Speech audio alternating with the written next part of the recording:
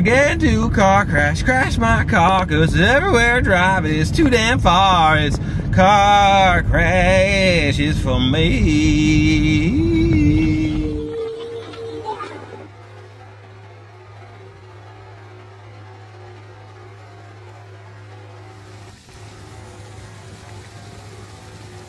And they're making a mold for her bracelets.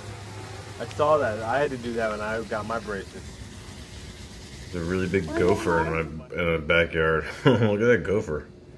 Let gopher go. It's eating.